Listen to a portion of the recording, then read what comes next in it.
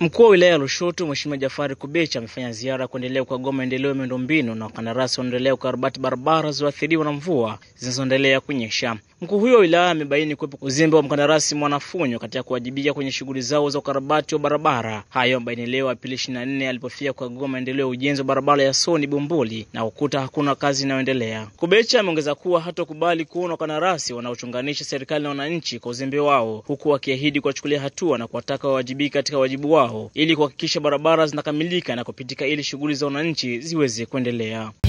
ndio unakuja sasa hivi. Ah, ah, ah, ah, ah, ah.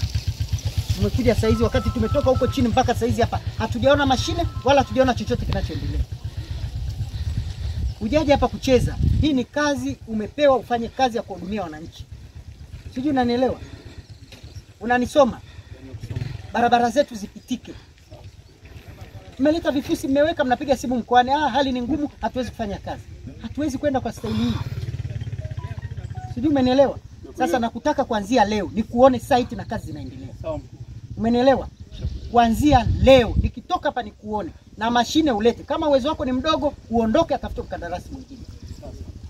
Leta mashine hapa, toa hii lea hii ya, tope, weka pembeni. Anza kuweka kifusi kizuri na kuanza kusindilia barabara zipite. Kama changamoto ni magari, tuko tayari kuzuia kwa muda, kazi ifanyike. Sijui unanielewa? Afisa tarafa huyu atakufuatilia kwa ukaribu, na watu wangu hawa huku, macho yao yako kwako. Sijui umenielewa? Kutokufanya kazi kwa wakati, ile hali umeshapewa fedha, ni kuichonganisha serikali na wananchi. Umenielewa mkandarasi? Nakuomba. Na kuomba sana tusigombane, sawa babangu? Hatutagombana. Eh, tufanye kazi, tuwahudumie wananchi. Tutatekeleza. Vifaa viko wapi? Kwa hapo chini pale mwanafunzi pale chini. Sasa nakuomba vipandishe kuanzia leo, toa ile yani. Kuanzia kesho. Sio kesho, nimesema kuanzia leo. Nakwambia hivi, nimekwambia kuanzia kesho. Kuanzia leo. Kuanzia leo, tope hili lilete, toa lete nani, toa tope, anza kutoa tope hili.